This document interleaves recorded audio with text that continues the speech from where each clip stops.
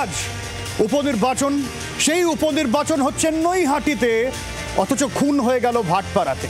এই নিয়ে আজকে আলোচনা একবার দেখে নেব, কোন কোন বিষয়ে আজকে সরাসরি প্রশ্ন তুলব আমরা।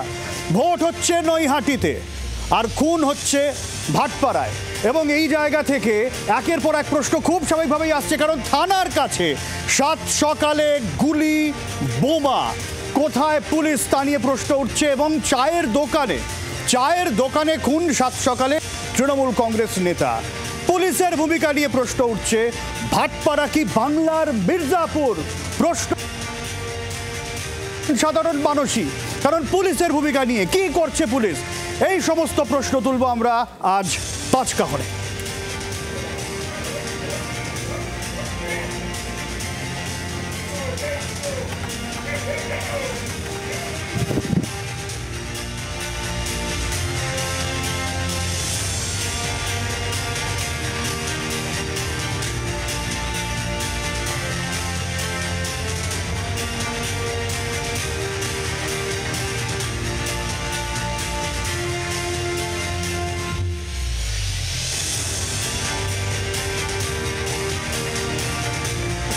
রয়েছেন একটু আপনাদের সঙ্গে আলাপ করিয়ে নেব। আমাদের সঙ্গে রয়েছেন কংগ্রেসের শক্তি মৈত্র, রয়েছেন শর্মিষ্ঠা ভট্টাচার্য, বিজেপির শতরূপ ঘোষ।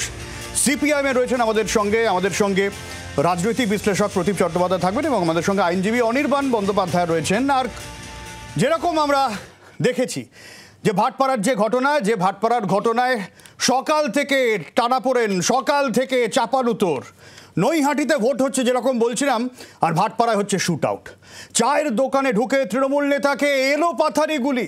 ছোড়া হয় বোমাও। নিহত তৃণমূলের প্রাক্তন ওয়ার্ড সভাপতি অশোক সাউ। শাসক নেতা খুনে তুঙ্গে তরজা রিপোর্ট তলব কমিশনের।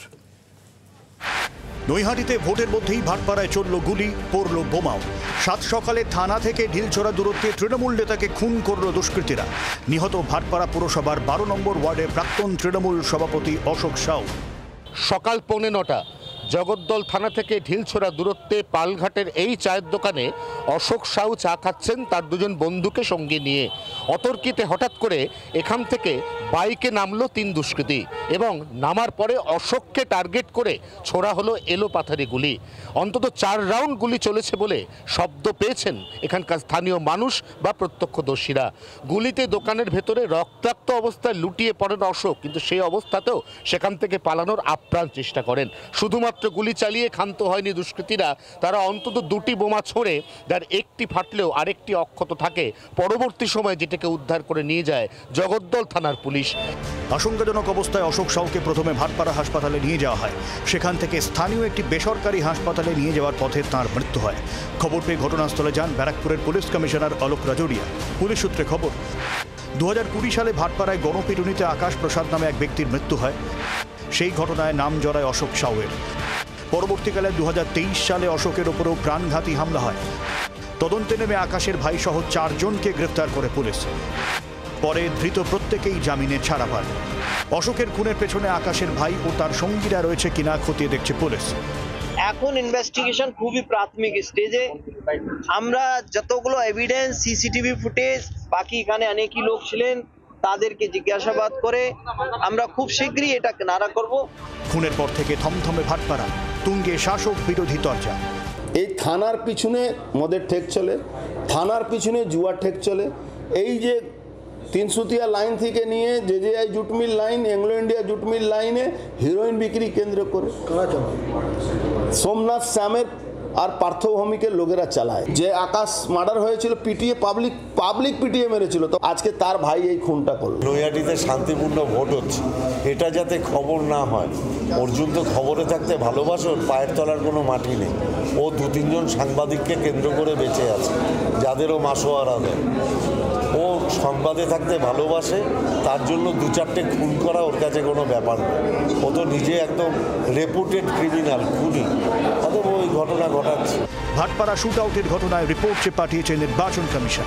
ক্যামেরায় তরুণের সঙ্গে অয়ন ও বরুণের রিপোর্ট জি চব্বিশ ঘণ্টা। আমি শুরুতে অনির্বাণের কাছে আসব অনির্বাণ। ভোট হচ্ছে নৈহাটিতে আর খুন হচ্ছে ভাটপাড়া এবং এমন একটা জায়গায় খুন হচ্ছে যেখানে একশো দুশো মিটারের মধ্যে জগদ্দল থানা। সেখানে ওই মুখ চাপা দিয়ে বাইকে কেউ আসছে না। হেঁটে হেঁটে আসছে গুলি করছে চলে যাচ্ছে। কি চলছে ভাটপাড়ায়? দেখুন, ভাটপাড়ায় এই ধরনের অশান্তির পরিবেশের ইতিহাস সুদীর্ঘ। সাম্প্রতিক সময়ে তার উপর কিছু নিয়ন্ত্রণ আগের থেকে অনেক বেশি হচ্ছে। এটা আমরা সংখ্যার নিরিখে যদি আমরা বিচার করি যে যে ধরনের ঝামেলা, ঝঞ্ঝাট ইত্যাদি একসময় নিত্য নৈমিত্তিক ঘটনা ছিল, তার থেকে সংখ্যা এখন অনেকটাই কম। নিশ্চয়ই আমরা আশা করব যাতে শূন্যে নেমে আসে।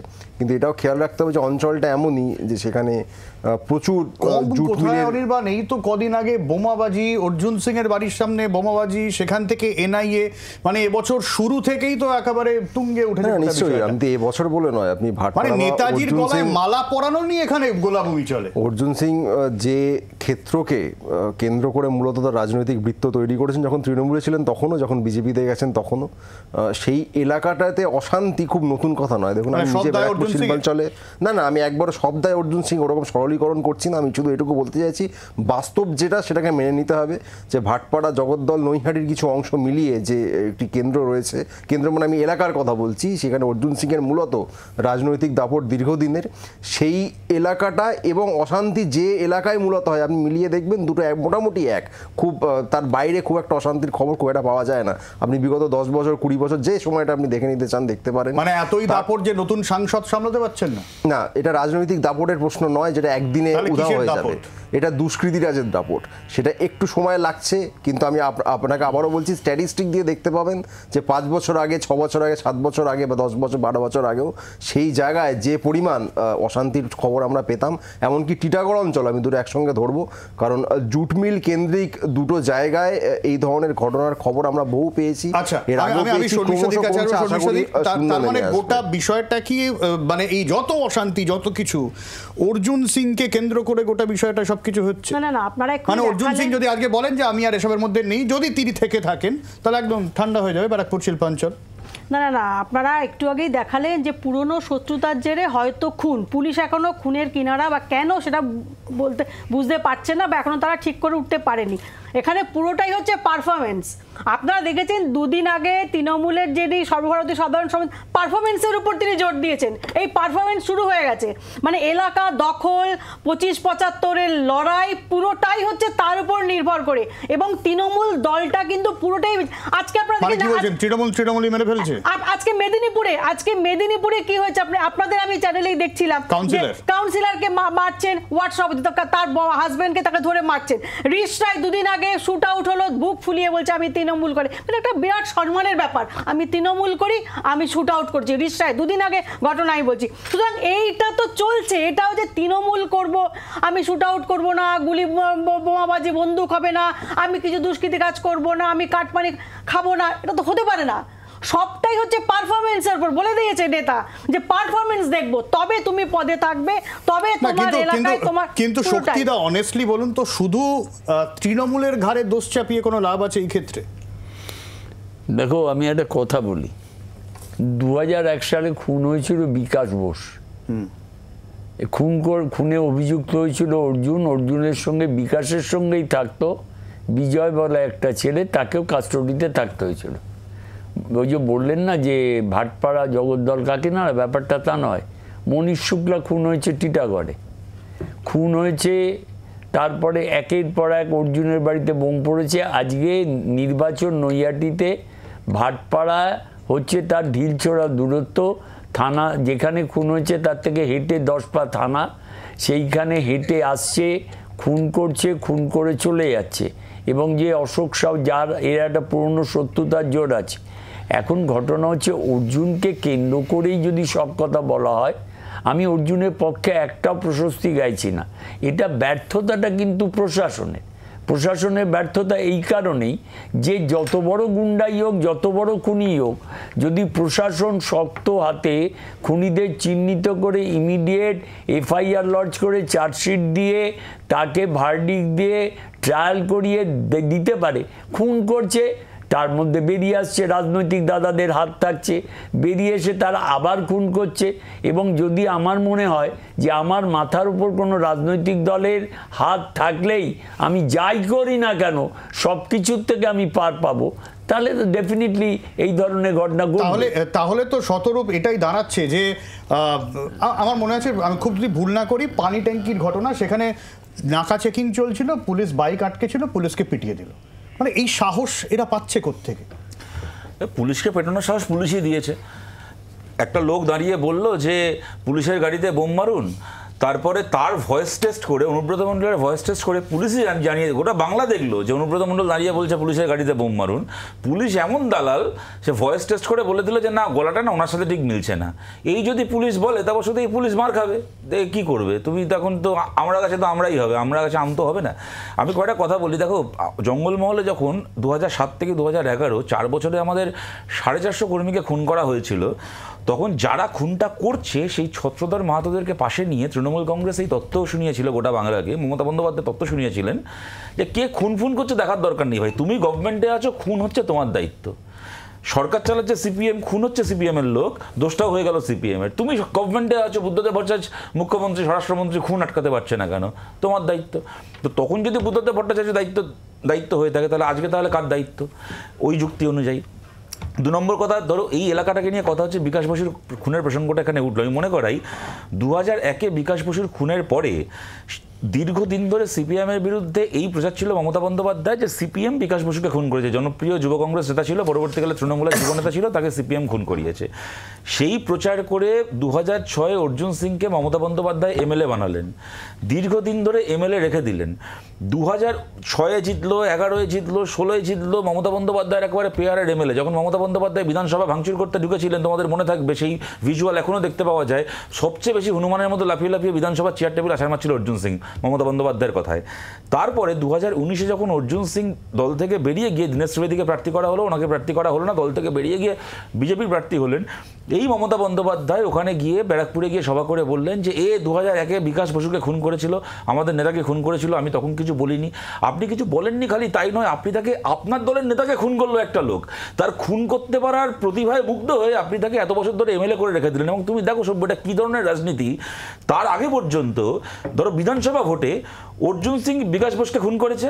অর্জুন সিং আর বিকাশ বসুর বউ একসঙ্গে বসে তৃণমূলের হয়ে প্রচার করছে। একদম বিকাশ বসুর বউ নিজে। তার স্ত্রী সাক্ষাৎ। তিনিও পরবর্তীকালে তৃণমূলের প্রার্থী এখনও তৃণমূলের এমএলএ। এই নোয়াপাড়া। এই নোয়াপাড়া এই হচ্ছে এই হচ্ছে হ্যাঁ মধুসূদন বাবু মারা যাওয়ার পরে নোয়াপাড়ার এমএলএ হলেন। এই হচ্ছে রাজনীতি। মানে একটা লোক যার বরকে খুন করল তৃণমূলের এমন মায়া মমতা বন্দ্যোপাধ্যায়ের এমন জনমোহিনী ক্ষমতা খুন হওয়া লোকটার বউ আর খুনি একসাথে বসে তৃণমূল করছে। এই করে করে করে করে একটা জায়গাকে আজকে পুরো মানে কি বলব আইন শাসনের ঊর্ধ্বে আচ্ছা। আজকে যে কথাটা পার্থভূমিক আজকে যে কথাটা বলছেন যে অর্জুনের এইটা স্বভাব ও এই করে সেই করে আচ্ছা ভাই বলে লাভ আছে অর্জুন সিং দুবার বিজেপিতে যোগ দিয়েছে দুবারই অর্জুন সিং নিজের ইচ্ছায় বিজেপিতে গেছে একবারও এমন নয় যে তৃণমূল তাড়িয়েছে প্রথমবারও আমাদের মনে আছে উনি যখন দীনেশ ত্রিবেদী প্রার্থী হচ্ছে ওনার রাগ হচ্ছে মমতা বন্দ্যোপাধ্যায় স্বয়ং নবান্নে ডেকে ওনার সাথে মিটিং করেছিলেন। বলেছিলেন যে তুই অন্য কাজ কর দল তোকে অন্য দায়িত্ব দেবে। এবং এইবারও দু হাজার চব্বিশেও যখন ব্রিগেডের মাঠ থেকে ওনার নাম ঘোষণা করা হলো না ওখানে পার্থভূমিকের নাম ঘোষণা করা হলো এমনকি এই অফারও একদম ক্যামেরার সামনে তৃণমূল নেতারা দিল যে বড়নগরের এমএলএ সিট খালি হয়েছে ওখান থেকে অর্জুন সিংকে এমএলএ করে রাজ্যের মন্ত্রী করা হবে। তারপর অর্জুন সিং সেই প্রস্তাবে রাজি হয়নি স্বেচ্ছায় বিজেপিতে গেছে। আচ্ছা। আজকে আপনি দাঁড়িয়ে তার উপর সব দোষ ঠেলে দিয়ে নিজেরা ধোয়া তুলছি আমি আসব সদর আসব। আমি একটু প্রদীপটা কাজের প্রদীপটা আমি জানি না আপনি মির্জাপুর দেখেছেন কিনা যে প্রশ্ন আমি তুললাম। মির্জাপুরে বেশ কয়েকটা চরিত্র বাহুবলী তার ক্ষমতা দখল করে কেন্দ্র করে একটা ওয়েব সিরিজ যেতে থাকে। কেন্দ্রে থাকে কালীন ভাইয়া সেখানে গুড্ডু পণ্ডিত ক্ষমতা দখল করতে চায়। আরও নানা রকম লালা মুন্না ভাই, এরকম মুন্না ভাইয়া এরকম ক্যারেক্টার রয়েছে। তো এই ভাটপাড়া দেখে মনে হয় যেন মির্জাপুর, যেখানে কোনো আইনের শাসন নেই। পুলিশ চমকে যায়, পুলিশ ভয় পায়, খুন হয়, খুন করে আবার জামিন পেয়ে যায়। ক্ষমতা কার হাতে থাকবে? বেশ কিছু নাম ঘোরাফেরা করে এই ভাটপাড়া ব্যারাকপুর শিল্পাঞ্চলের অন্দর। আমরা প্রত্যেকে জানি তারা কারা। এরকম একটা রাজ্যের থেকে মনে হয় বিচ্ছিন্ন একটা জায়গা যেখানে বাকি রাজ্যের সবকটা জায়গায় আইনের যা শাসন মাঝে মাঝে মনে হয় ওখানে এগুলো কি চলে না? একেবারে আলাদা একটা জায়গা।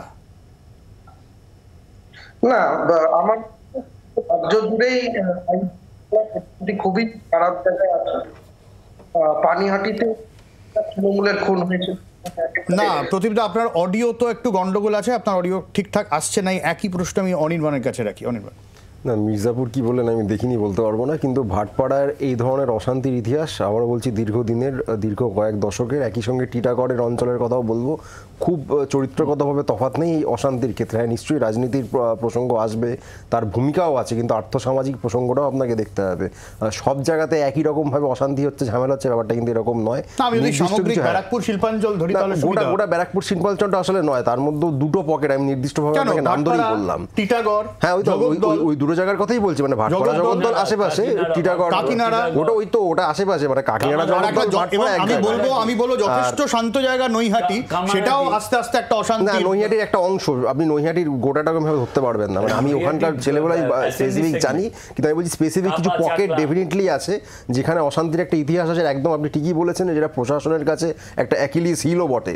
সেইখানে রাজনীতিকদের ভূমিকা তার এক অপরকে দোষ দেবেন এ ওকে দোষ দেবেন ইত্যাদি তার কিছু সত্যি কথা থাকতেও পারে সত্যতা থাকতেও পারে। কিন্তু সবচেয়ে বড় প্রসঙ্গ আইন শৃঙ্খলার প্রশ্নে পুলিশ তারা কড়া হাতে যখন নিয়ন্ত্রণ করছেন সেই সংখ্যাটা কিন্তু ক্রমাগত কমছে। এটা বাস্তব চোখে যারা সেখানে থাকেন তারা দেখতে পাচ্ছেন। এই ধরনের ঘটনা নিশ্চিতভাবে এই প্রশ্ন তুলে দেয় যে সত্যি সত্যি কিছু হচ্ছে কিনা কিন্তু আপনাকে বলছি মোটেই গোড়াটা ভেঙে পড়েছে। প্রশাসন কোনো কাজ করছে না। আপনি যেরকম বলছেন আইনের ওখানে কিছুই নেই ব্যাপারটা আদৌ এরকম নয়। গ্র্যাজুয়ালি হচ্ছে। আশা করব শূন্যে নেমে আসবে না, যদিও তাহলে একই জায়গায় মানে বছরে এতগুলো করে ঘটনা ঘটে কি করে? ওই আপনাকে বললাম যে কয়েকটা পকেট রয়েছে ব্যারাকপুর শিল্পাঞ্চল যদি এলাকা ধরে আপনি বলেন একটা কয়েকটা পকেট রয়েছে জানেন যে এই পকেটগুলো অশান্তি হয় সেই সেই অসুখ সারানো গেল না এতদিন? কোনো ম্যাজিক ওয়ান্ড নেই। দেখুন আমি বাস্তব কথা আপনাকে বলছি এটা কোনো ম্যাজিক ওয়ান্ড সত্যিই নেই। মানে রাজ্যটা তো দু বছর হলো তৈরি হয়নি বা এই না অশান্তি না না এই না না একদমই নয়। এই অশান্তি দু বছরও হচ্ছে না এটা তিন বছর হচ্ছে না এগারো বছর হচ্ছে না। এটা আপনার দীর্ঘ কয়েক দশকের ইতিহাস যে কারণেই আপনাকে আর্থসামাজিক প্রসঙ্গের কথাটা তুললাম যে এর জটিল সমাধান আছে হয়তো নিশ্চয়ই আছে কিন্তু সেটা খুব সহজ নয়। এ, সেখানে পুলিশ প্রশাসনের ভূমিকা একটা অংশ নিশ্চয়ই অংশ সেইখানে তাদের যদি কোনো ব্যর্থতা থাকে একশোবার আঙুল তুলবেন। কিন্তু যেটা আমি বারবার বলছি যে লাগাতার যদি আপনি প্রত্যেক বছর বা একটা সেগমেন্ট ধরে ধরে ডেটাটা দেখেন অশান্তির সংখ্যা কিন্তু ক্রমাগত কমছে।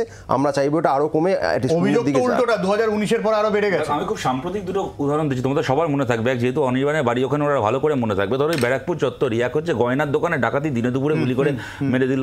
দ্বিতীয় কথা মানে দেখো পশুরাও তুমি দেখবে নিজের সন্তানকে বাঁচিয়ে রাখে হ্যাঁ আগলে রাখে। এরা কীরকম পশুর অধম ওই ভাটপাড়াতে লাইনের ধারে একটা বোম পড়ে আছে, একটা বাচ্চা ছেলে বিকেলবেলা খেলতে গিয়ে সেই বোম ফেটে মারা গেল। এইটা হচ্ছে পশ্চিমবাংলা। কেমন? আমি এই জায়গা থেকে বলছি যে অশান্তির সংখ্যা কমছে না বাড়ছে, মনে হয় না খুব একটা কমছে বলে। দ্বিতীয় কথা, আর্থসামাজিক একটা ভূমিকা এখানে নিশ্চয়ই আছে, কিন্তু কি পুরোটাই আর্থসামাজিক ভূমিকা বলে চালিয়ে দিলে তখন ব্যাপারটা খালি অ্যাডাম স্মিথ থেকে অমর্ত্য সেনের দায়িত্ব হয়ে যায়, আর রাজ্য সরকারের কোনো দায়িত্ব থাকে না। এই বলে তো সরকারকে আড়াল করা যাবে না, আপনি নিলেন কেন? অর্জুন, আপনি জানেন অর্জুন সিং ক্রিমিনাল তারপরও আপনাকে কি, আপনার কি অসুবিধা হচ্ছিল? অর্জুন সিংকে সারা রাজনীতি করতে। দু হাজার একুশের বিধানসভা ভোটও তৃণমূল কংগ্রেস কিন্তু অর্জুন সিংয়ের বিরুদ্ধে লড়াই জিতলো। ব্যারাকপুর অঞ্চলেও ভালো ফল করল। আপনি নিলেনটা কেন অর্জুন সিংকে?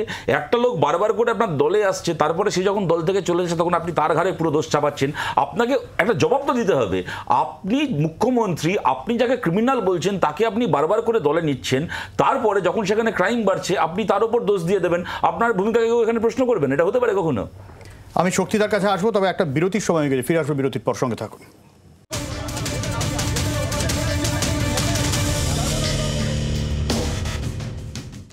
শক্তিদার কাছে আসার আগে আজকে গুলিতে নিহত তৃণমূল কর্মী তার মা কি বলেছেন একবার শোনাবো।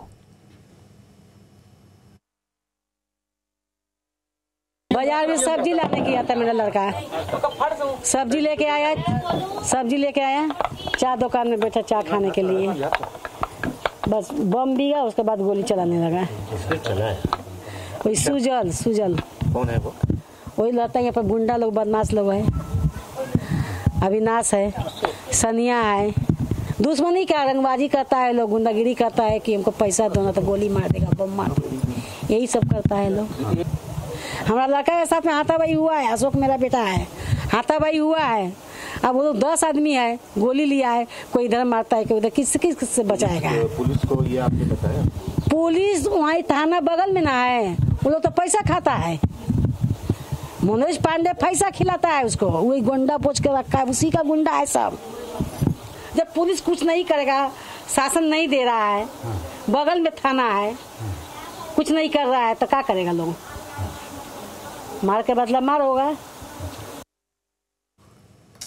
শক্তিদা ইন্টারেস্টিংলি যখনই এই ধরনের কোনো ঘটনা হয় আমরা অর্জুন সিং বলুন বা সোমনাথ শ্যাম বলুন বা এনার কথাও শুনলাম বেশ কিছু নাম উঠে আসে মানে এই নামগুলো দেখে মনে হয় ওরাই ওইখানে লোকাল প্রশাসন চালাচ্ছে ওরাই রাজ করছে গোটা বিষয়টায় তারাই পুলিশকে ওঠাচ্ছে বসাচ্ছে তারাই রাজনৈতিক দল চালাচ্ছে এরকম অদ্ভুত অদ্ভুত নাম যে নামগুলো আমরা সিনেমায় দেখি ওয়েব সিরিজে দেখি না না ভদ্রলোক বললেন না একটা পরিসংখ্যান দিলেন, কমতে থাকছে। আমি একদম ক্যাটাগরিক্যালি বলছি, একটু সময় বেশি নেব না। কামারহাটি ধরা পড়ল ঠিক কামারহাটি মিউনিসিপ্যালিটির উল্টো দিকে পার্থ চ্যাটার্জির সঙ্গে এক মহিলা কয়েকশো কোটি টাকা নিয়ে। তারপরে একটা ক্লাব, সেখানে বেআইনি বাড়ি, মারা, পেটা, সেখানে গেল। চলে গেল সোদপুর। এইবারে যে আমাদের আর্যিকর কাণ্ড হলো, তার বডিটা কে পুড়িয়ে দিল বেআইনিভাবে নির্মল ঘোষ, কে? মুখ্য সচেতক। তারপরে চলে আসুন টিটাগড়, অশোক শুক্লা মনীষ শুক্লা, মার্ডার হলো। ব্যারাকপুরের সোনার দোকান খুন হলো, এসে মেরে দিয়ে চলে গেল। তারপর ভাটপাড়া, জগদ্দল, কাকিনাড়া। আমি একটা কথা বলি, ধরুন আমি কালকে রাত্রির এগারোটা পর্যন্ত নৈহাটিতে ছিলাম, কারণ আমি ওখানকার কোঅর্ডিনেটর জাতীয় কংগ্রেসের। দুশো দুটো বুথ ওখানে টোটাল ছটা বিধানসভায় একশো আট কোম্পানি পুলিশ এসছে। আর ভাটপা ভাটপাড়াটায় শ্যাম মানে কেন্দ্রীয় বাহিনী কেন্দ্রীয় বাহিনী। একশো আট কোম্পানি আচ্ছা ভাটপাড়ায় হচ্ছে শ্যাম রেবা রাহা হচ্ছেন শ্যামের মা সে হচ্ছেন চেয়ারম্যান জগদ্দল বা ভাটপাড়ায়। এদিকে ইলেকশন হচ্ছে নৈহাটিতে। নৈহাটির একটা শহরাঞ্চল খুব বর্ধিষ্ণু জায়গা। বঙ্কিমচন্দ্র ওখানকার চেয়ারম্যান ছিলেন সমরেশ মজুমদার ওখানকার লোক সমরেশ বোস সমরেশ বোস। ওখানকার লোক। সেইখানে আজকে যে কথাটা বলছি বিকাশ ব্যক্তিগতভাবে আমার খুব বন্ধু ছিল। এবং বিকাশের আমি আপনাকে আরও খুলে বলে দিই বিকাশের স্ত্রী মঞ্জু তাদের যেহেতু সন্তান ছিল না তারা প্রত্যেক শনিবার আমার বাড়িতে আসতো। তখন অ্যাডপ্ট নেওয়ার জন্যে ওই ডাক্তারের কাছে যেত। অর্জুন সেই সময় আমাদের কাছে আসতো। অর্জুনের সঙ্গে বিকাশ হাত ধরে। বিকাশ মারা গেল। বিকাশকে খুন করল একদম সকালবেলা। আনুমানিক সকাল নটা থেকে নটা চল্লিশ পয়লা এপ্রিল। ধরা পড়ল কে বিকাশের চব্বিশ ঘণ্টার সঙ্গী বিজয় আর ধরা পড়ল অর্জুন। আমি একটা কথা বলতে চাই। যে কমে গেছে খুন, এই অলোক বাজরিয়া অলোক বাজরিয়া যখন এসিপি ছিলেন, ব্যারাকপুর কমিশনারেটের, তার সময় যে খুন ছিল, আজও সেও খুন হচ্ছে। আরে, প্রশাসন যদি মনে করে যে আমি খুন বন্ধ করব ডেফিনেটলি খুন বন্ধ হবে। এটা কখনো এড়িয়ে যাওয়ার আমি আমি আমার একটা বিরতির সময় গেছে, কিন্তু শক্তিতে যেটা বললেন যে প্রশাসন যদি মনে করে, তাহলে খুন আটকানো যাবে। কিন্তু একের পর এক পুলিশ কমিশনার বদল হয়েছে ব্যারাকপুর পুলিশ কমিশনারেটে। তারপরেও কিন্তু অশান্তি, খুন থামেনি। কেন থামেনি? কি কারণ? খুঁজে দেখব একটা বিরতির পর। সঙ্গে থাকুন।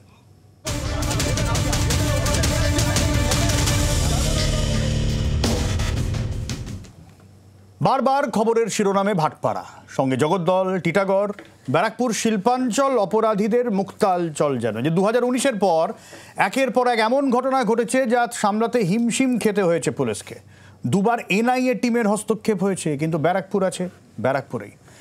অ্যাকশন ক্রাইম থ্রিলারের মতো মার্ডার, ব্লাস্ট শুট আউটের প্লট, যাতে ঘোরাফেরা করে অর্জুন সিং, সোমনাথ শ্যাম, পার্থ ভৌমিক বা শুভদের মতো একাধিক হাই প্রোফাইল নাম।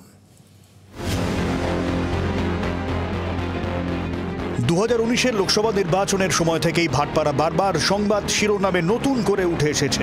অস্ত্রের ঝঞ্ঝনানি মানুষের মৃত্যু, গোষ্ঠী সংঘর্ষ, বাড়িঘর, লুট, আগুন। কিছুই বাদ যায়নি জগদ্দল ভাটপাড়া কাকিনাড়া অঞ্চলে। সেই সময় এমন পরিস্থিতি হয়েছিল যে তৎকালীন রাজ্য পুলিশের ডিজি সি বীরেন্দ্রকে মাঝপথ থেকে গাড়ি ঘুরিয়ে কলকাতায় ফিরে আসতে হয়েছিল। তিনি ঢুকতেই পারেননি ভাটপাড়ায়। গত কয়েক বছরে একাধিকবার ব্যারাকপুরের পুলিশ কমিশনার বদলেছে, কিন্তু তাতেও পরিস্থিতি পাল্টেছে কই? বছরের শুরু থেকেই একের পর এক ঘটনা। নেতাজির মূর্তিতে মালা দেওয়া নিয়ে অর্জুন সিং বনাম গোপাল রাউতের অশান্তি। মালা পরানোকে ঘিরে গুলি, বোমা, হালি শহরে তারপর বিস্ফোরণ হয়, সেখানে দুজনের মৃত্যু হয়। ব্যারাকপুরে তৃণমূল কংগ্রেসের অন্যতম সম্পাদক গোপাল মজুমদার খুন হন। অক্টোবরেই অর্জুন সিংয়ের বাড়ির সামনে বোমাবাজি হয়, গুলি চলে। বুধবার তৃণমূল নেতা অশোক সাউ খুন হন।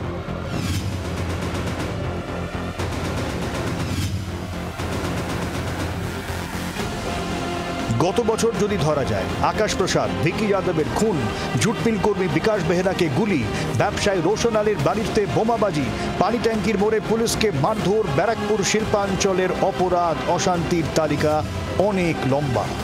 শুধু ভাটপাড়া নয়, ব্যারাকপুর লোকসভাকে আবার অশান্ত করার চেষ্টা করছে প্রাক্তন সাংসদ। তিনি চাইছেন যে যে বার্তা আমরা মানুষের মধ্যে দিয়েছিলাম গুন্ডারাজ শেষ করার, সেই বার্তাটা যেন না থাকে মানুষের মধ্যে। সরকার কার আছে? মন্ত্রী কে আছে? পুলিশ মন্ত্রী কে আছে? এখানে একটা গুন্ডা কোনো বিজেপিতে আছে? তাহলে নাম বলো পুলিশ অপরাধীদের গ্রেফতার করে জামিনে ছাড়া পেয়ে আবারও অপরাধে জড়িয়ে পড়ে তারা জানিয়ে ক্ষোভ প্রকাশ করেছিলেন ব্যারাকপুরের বিধায়ক। বারবার ব্যারাকপুরকে কেন টার্গেট করা হচ্ছে? পুলিশ হয়তো তৎপর হয়ে খুব জীবনের ঝুঁকি নিয়ে একজন ক্রিমিনালকে ধরছে তারপরে কি হচ্ছে? ও তিন মাস পরে বেল হয়ে যাচ্ছে। আমাদের দেশের আইনটাও অদ্ভুত। তারপরেও কাজের কাজ কিছুই হয়নি।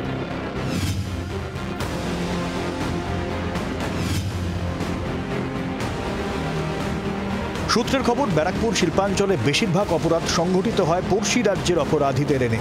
ফলে তাদের পাকড়াও করাও অনেক সময় চ্যালেঞ্জ হয়ে দাঁড়ায় পুলিশের কাছে। তাছাড়া ব্যারাকপুরে বহু চটকল কারখানা বন্ধ হয়ে গিয়েছে। বিকল্প কাজের সমস্যা। অন্ধকার জগতে ভিড়ে যাওয়ার প্রবণতার এটাও একটা কারণ বলে মনে করা হয়। এখানে লাগামহীন রাজনীতির অভিযোগ। তার ছায়াতেই ফুলে ফেপে উঠছে দুষ্কৃতী রাজ্য অর্জুন সিং তৃণমূলে থাকাকালীন তার বিরোধীরা বিজেপি ও সিপিএম এই দুই দলে ছড়িয়ে ছিটিয়েছিল। এমনকি তৃণমূলে যারা প্রবল অর্জুন বিরোধী ছিলেন দু হাজার পর থেকে তারা ধীরে ধীরে বিজেপিতে যোগ দিতে শুরু করে। কিন্তু উনিশের লোকসভা নির্বাচনে তৃণমূলের টিকিট না পেয়ে ক্ষুব্ধ অর্জুন বিজেপিতে আসতেই সমীকরণ বদলে যায়। গেরুয়া শিবিরে থাকা অর্জুন বিরোধীরা তখন আবার তৃণমূলে ফিরতে শুরু করে। পরস্পরের প্রতি তীব্র বিদ্বেষের সূত্র ধরেই গত কয়েক বছরে একের পর এক রাজনৈতিক নেতা কর্মীর খুন দেখেছে ব্যারাকপুর শিল্পাঞ্চল।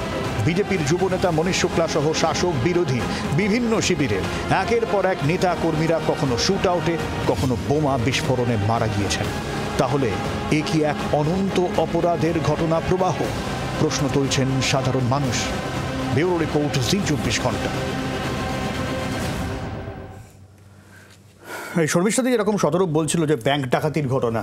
রিসেন্টলি এক প্রমোটারের গাড়িতে গুলি, তোলাবাজি, সুবোধ সিং বিহারের জেল থেকে সে অপারেশন চালাচ্ছে। মানে অদ্ভুত পুরো সিনেমার মতন। বিহারের জেল থেকে মানে আমি জানি না সেখানে বিহারের জেলে বসে কীভাবে পড়শি রাজ্যে এত বড় নেটওয়ার্ক চালানো যায়। তাহলে যদি তাই হয়ে থাকে বিহার থেকে আউটসোর্স হচ্ছে পড়শি রাজ্য থেকে আউটসোর্স হচ্ছে বাইরে থেকে অস্ত্র আনা হচ্ছে এখানে এই দায় তো শুধুমাত্র তৃণমূলের হতে পারে না শর্মিষ্ঠাদি। আমি মির্জা দেখিনি, কিন্তু আমি গডফাদার পড়েছি। যে সমস্ত গডফাদার, আগে সমস্ত কিছু সমস্যা তৈরি হচ্ছে, তারপরে গডফাদার, সমস্যা তৈরি গডফাদারই করছে, তারপরে ত্রাতা হয়ে সেই সমস্যাটাকে বিয়ে করতে যাচ্ছে, সবাইকে সবাইকে সুরাহা করতে যাচ্ছে। সুতরাং তৃণমূলেরও এখন ব্যাপারটা হচ্ছে, সমস্ত এলাকায় এক একটা করে বাহুবলী তৈরি করো, এবং এই বাহুবলীরা শুধু আমাকে ভোটটা এনে দাও তার বিনিময়ে তুমি যা খুশি করো। তুমি বোমা গুলি বন্দুক ব্যাংক ডাকাতি তৃণমূলের লোকেরা ব্যারাকপুর শিল্পাঞ্চলের না, না, বাহুবলী শুনুন অর্জুন সিং তো এখন আর বে- বে- তৃণমূলে নেই। আমি আমি অর্জুন সিং এর নাম বলিনি কিন্তু। আমি আমি জানতে চাইছি বাহুবলীটা কে? বাহুবলী শাসক দল যারা আছে তারা বাহুবলী? কারা? শাসক দলে যারা রয়েছে প্রত্যেকেই ওখানে বাহুবলী। তৃণমূলের প্রত্যেকটা নেতাই বাহুবলী। প্রত্যেকটা কারণ এখন দেখবেন যদি অঞ্চলে কিছু হয় মানুষ পুলিশের কাছে যায় না। মানুষ তৃণমূলের নেতাদের কাছে যায়। কারণ তৃণমূলের নেতারা না বললে পুলিশ আসে না। আপনি আজকেই সীতাইয়ে দেখেছেন একদম ওপেন পুলিশের তৃণমূলের একজন। আধ ঘণ্টা সময় দিলাম বিজেপি এজেন্টকে বলছে বেরিয়ে যান না হলে মেরে দেবো বুথের মধ্যে মেরে দেবো। কি করেছে তার জন্য? পুলিশ তার জন্য কি করে শাসক? তার জন্য একটা শাসক দলের এটা, এটার হয়ে আপনারা কোনো শুনেছেন, কথা বলতে শুনেছেন?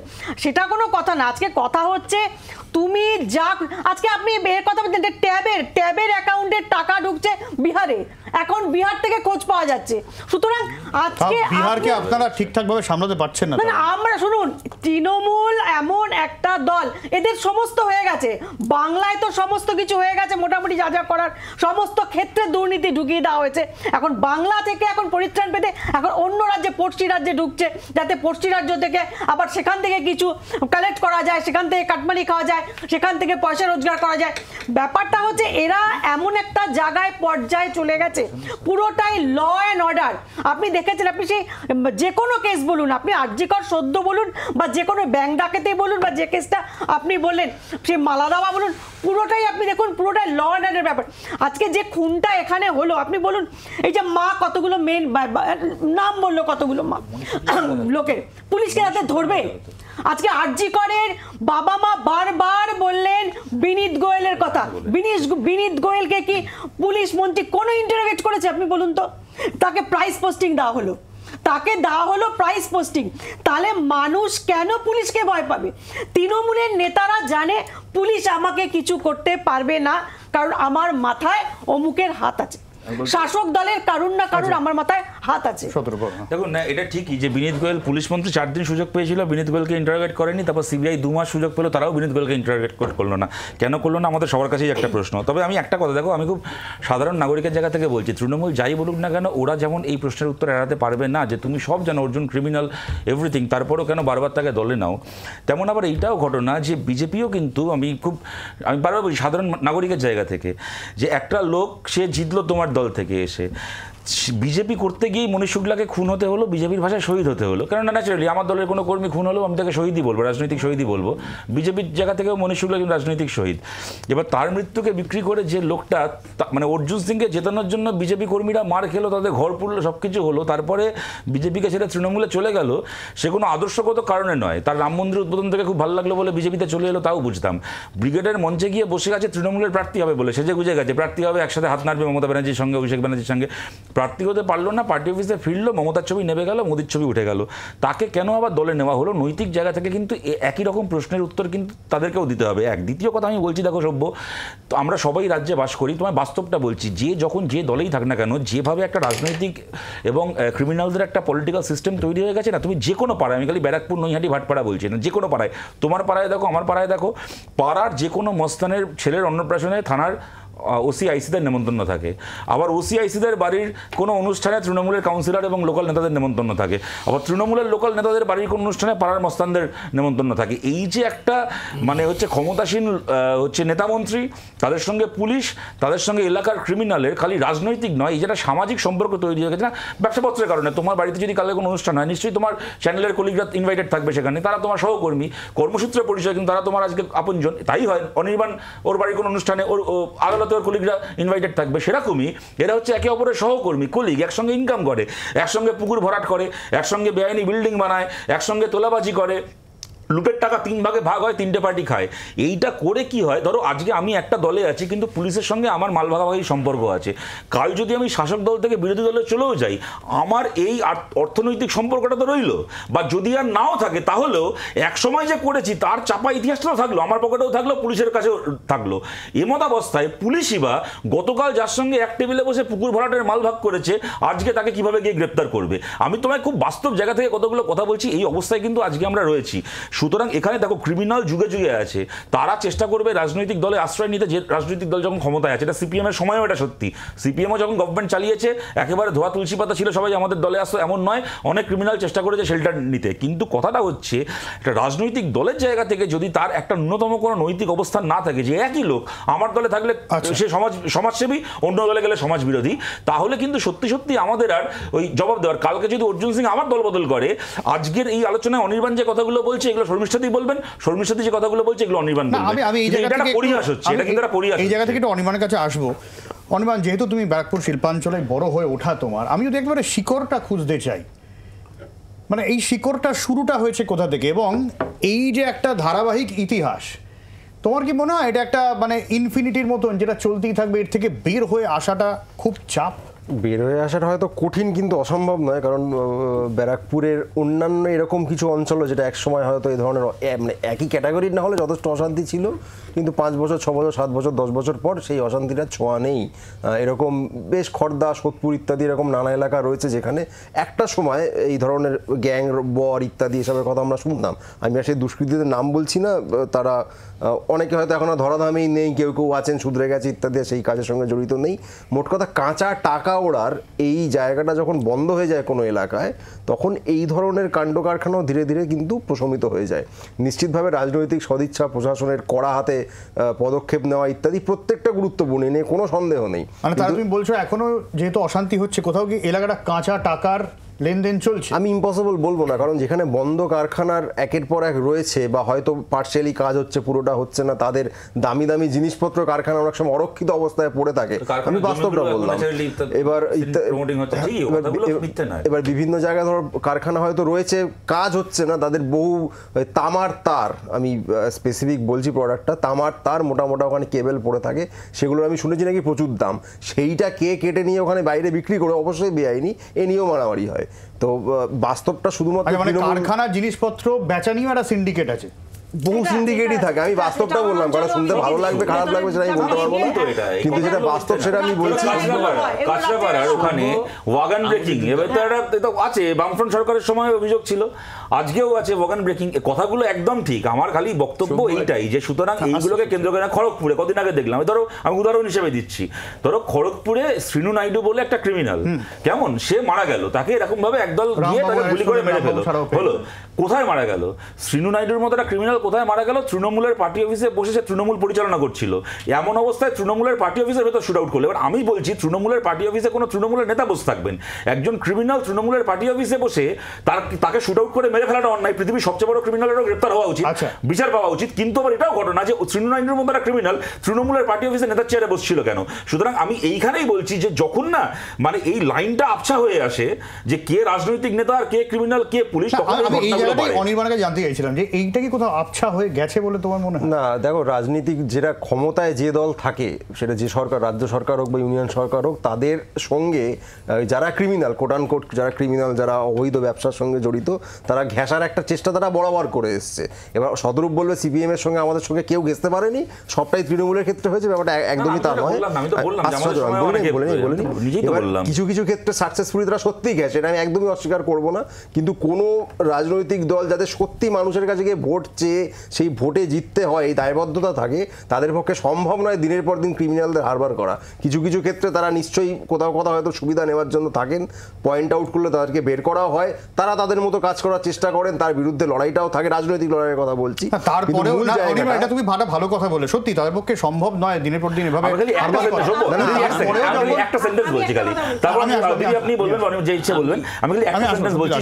সূক্ষ্ম কি? আমি কোনো কিছুকে জাস্টিফাই করছি না কিন্তু আমি একজন রাজনৈতিক নেতা কোনো ক্রিমিনাল আমার পেছন পেছন ঘুরছে আর আমি রাজনৈতিক নেতা হিসেবে একজন ক্রিমিনালের পেছন পেছন ঘুরছি দুটোর মধ্যে কিন্তু আকাশ পাতাল তফাৎ আছে আমি কোনোটাকে জাস্টিফাই করছি না কিন্তু আমি যে উদাহরণটা দিলাম মানে ওখানে আমি এখানে কেন আমি একটা উদাহরণ দিলাম শ্রীনু নাইডু কোনো খড়গপুরের তৃণমূল নেতার পেছন পেছন ঘুরছে না। শ্রীনু নাইডুই ওখানে তৃণমূল চালাচ্ছে। সে তৃণমূলের পার্টি অফিসে প্রধান নেতার মানে চেয়ারে বসে আছে। এইটা চলছে আর- বলছো? হ্যাঁ তাই হচ্ছে। নাহলে এবং এটা তো আমি বলছি বলে না। ধরো আজকে যদি তৃণমূলের পার্থভূমিকের কথা ঠিক হয়ে থাকে যে অর্জুন সিং একজন মাফিয়া ডন যদি পার্থভূমিকের কথা ঠিক হয়ে থাকে কেমন? তার মানে এই অর্জুন সিং আজ থেকে ছ মাস আগে অবধি যখন আপনার পার্টি অফিসের এমপি চেয়ার অলঙ্কৃত করে বসছিল একজন মাফিয়া ডন আপনার পার্টি অফিসে এমপি চেয়ারে বসছিল? এটা পার্থভূমিক বলছি। এটা পলিটিক্যাল রিপোর্টাল আমি ইজিলি দিতে পারি। এক সময় কংগ্রেসের যখন যখন জোট ছিল না যখন সিপিএম রাজত্ব করতো কংগ্রেস বিরোধী দল ছিল গণশক্তির একের পর এক পাতায় কংগ্রেসই গুন্ডা। একদম এই শব্দবন্ধ ব্যবহার করে খবর চাপা হতো। তখন কংগ্রেসই মানেই ছিল কংগ্রেসই গুন্ডা। এবং পাল্টাটা কংগ্রেসও বলতো সিপিএম এর হারমাত এই পলিটিক্যাল শেষ করিনি। এই পলিটিক্যাল ঝগড়াটা আমরা এর অনন্তকাল চলবে। কিন্তু আপনি যেটা স্পেসিফিক কোয়েশ্চেন করেছেন আমি স্পেসিফিক্যালি আপনাকে বলছি যে আর্থসামাজিক পরিস্থিতি এই সব ক্ষেত্রে অত্যন্ত গুরুত্বপূর্ণ। দ্বিতীয়ত শিক্ষার হারের প্রসঙ্গটা খুব গুরুত্বপূর্ণ। আমি নিজেও দেখেছি টিটাগড় অঞ্চল বা এইসব অঞ্চল থেকে আমার পরিচিত অনেক ছেলেরা যারা কলেজে সহপাঠী ছিল তারা চেষ্টা করতো যে একটু ভালো কোনো চাকরি পেলে ওই বাবার বাড়িটা ছেড়ে অন্য কোথাও চলে দেখো যাবে। এইটা এলাকায় থাকতে চাই এইটা বললেই না দেখো এই যে উদাহরণটা দিল ধরো বামপন্থীরা ফাটাকেষ্টকে কংগ্রেসি গুন্ডা বলেছে কোনোদিন তো প্রণব মুখার্জি কংগ্রেসি গুন্ডা বলেনি। আমি কি বলছি আমার বিশ্বাস যারা আলোচনাটা শুনছেন তারা বুঝতে পারছেন।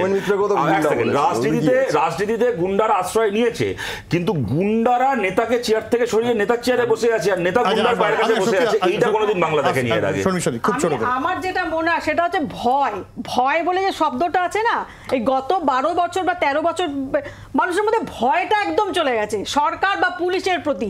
কারণ পুলিশ এমন এমন জিনিসে জড়িয়ে পড়েছে পুলিশ ফোন করে বলছে কে কাকে ভোট দেবে কে কোন পার্টি করবে বিভিন্ন ইয়ে কামদুনি বলুন বা পার্ক স্ট্রিট বলুন বা এই সাম্প্রতিককালে এই আরজি কাজে পুলিশ এমন এমন কেসে জড়িয়ে পড়ছে আচ্ছা, পুলিশ খিচুড়ি আমি- আমি আসব আর একটা বিরতি নিতে হবে আমি শক্তিদের কাছে একটু ছোট করে আসব। আমি আসব ভয়টা কেটে গেছে মানুষের আমি আমি শতরূপ বা অনির্বাণ বাবু যেটা বললেন, আমি ঘুরিয়ে বলি একটাই কথা, যে whether a criminal will direct the party or the leader will direct the party এই প্রশ্নের জায়গায় দাঁড়িয়ে আছি। আর অনেকে বলতে পারেনি, আমি আমার গার্ডস আছে, আমি নাম করে ধরে বলতে পারি right from Kanchrapara to Kamarhati, কারা কারা কোন কোন সময় দল, সবার আগে খবর পায় শাসন ক্ষমতার পরিবর্তন হচ্ছে পুলিশ এবং ক্রিমিনালরা। এখন ক্রিমিনালকে নিয়ে যদি আমি ক্রাইম করাই একদিন না একদিন ক্রিমিনাল আমার মাথার উপর চড়ে বসবে। সেটাই হয়েছে কি? এই ডেফিনেটলি তাই হচ্ছে। এই পার্থ বলুন পার্থ ভৌমিক আমার অত্যন্ত পরিচিত ছেলে শ্যামসোম আমার অত্যন্ত পরিচিত ছেলে। আজকে মনীষ শুক্লা ছিল মনীষ শুক্লা কেন খুন হলো? যেটা শতরূপ একটুখানি ব্যাখ্যা দিয়েছে। আজকে নির্মল ঘোষ, আজকে কতদিন ধরে প্রায় পাঁচ শতাব্দী, Nirmal Ghosh knocking at the door of eighty কেই আর্যিকর কাণ্ডে তার রোলটা কি? আজকে কামারাটি, আজকে মানে যারা আজ গোপাল শাহ ওখানকার চেয়ারম্যান তার উল্টো দিকে একটা মেয়ে, কতটুকু তার বয়স? তার বাড়ি থেকে পঞ্চাশ কোটি টাকা। আজকে পার্থ চ্যাটার্জি অ্যান্ড্রিউলুকে উড়িয়ে দিয়ে চলে গেল। একটা কথা মাথায় রাখতে হবে। মাথা যে এটা মানি যে আর্থসামাজিক অবস্থা আজকে বেকারত্ব পাশাপাশি এটাও ভাবতে হবে যে সামাজিক মূল্যবোধের যে অবক্ষয়টা চলছে মানুষ রাজনৈতিক নেতাদের আস্তে আস্তে ঘেন্না করা শুরু করেছে রাজনৈতিক দলগুলোর ওপর মানুষের আস্থা চলে যাচ্ছে ক্রাইম যে করতে তাহলে আমি আমাকে একটা বিরতি নিতেই হবে। বিরতির পর আমি যে উত্তরটা খোঁজার চেষ্টা করব যে শক্তিটা যদি এটাই হয়ে থাকে যে এখন দুষ্কৃতীরা মাথায় চড়ে বসেছে। যদি তাই হয়ে থাকে তর্কের খাতিরে ধরে নি তাহলে সমাধানটা কি? এটা তো হতে পারে না যে একটাই একটা আছে। বিস্তীর্ণ এলাকায় দিনের পর দিন এরকম খুন বোমা গুলি এরকম হয়ে যাবে এবং যেরকম সতর্ক বা অনির্বাণ আমার সাথে মানে অস্বীকার করবে না বলছিল তোমাকে যে একটু ভালো চাকরি পেলে তোমাকে- সে ওই এলাকা ছেড়ে চলে যাবে। এটা হয় না না, না, আমি আসব। এই উত্তর খুঁজবে একটা বিরতির পর। প্লিজ সঙ্গে থাকুন।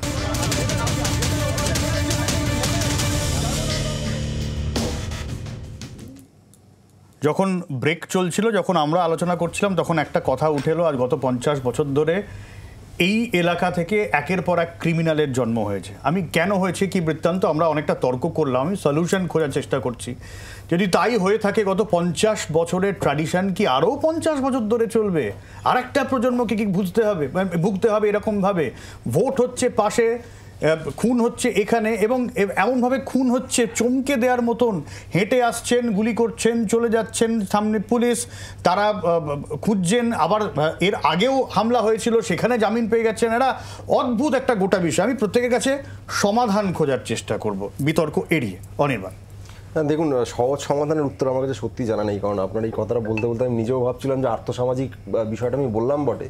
কিন্তু প্রথম বিশ্বের দেশ বলে যে দেশগুলির কথা বলা হয় আমেরিকা বা একটু গডফাদারের উপন্যাসের কথা দিদি বলছিলেন সেইখানে যে মাফিয়া রাজত্বের কথা বলা সাথে ইটালির কথা সেটা আমেরিকার কথা। গডফাদারের প্রেক্ষাপটটাই তো আমেরিকা যার ফলে প্রচণ্ড উন্নত দেশ যেখানে আর্থসামাজিকভাবে ভীষণ উন্নত সমাজ সেখানকার অপরাধগুলো আরও বেশি উন্নত। সেখানে গ্যাং ওয়ারের কি খবর আমরা দেখেছি সেটা আমরাই জানি।